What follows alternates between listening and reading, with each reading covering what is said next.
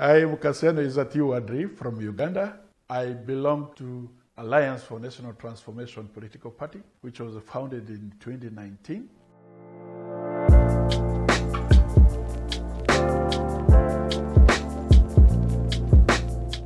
In Uganda, elections are held every five years, starting from LC1 up to the presidency.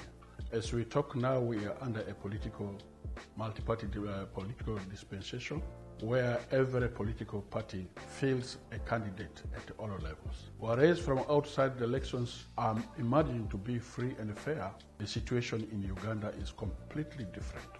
In Uganda, all elections are marred, one, by militarization. The army is fully involved in, one, intimidating the people and struggling to obtain votes by force for the government of the day. Secondly, the elections are highly commercialized. Uganda has a free economy, economy in which any person with the resources is free to conduct any business as long as is able to fulfill the required conditions as stipulated in the various laws. The major economic activities that bring resources to the country include farming, and in which coffee is the major foreign exchange earner, alongside other food crops, which are also now becoming commercialized, like maize, groundnuts, simsim, and others. Of course, tea is also widely grown and exported.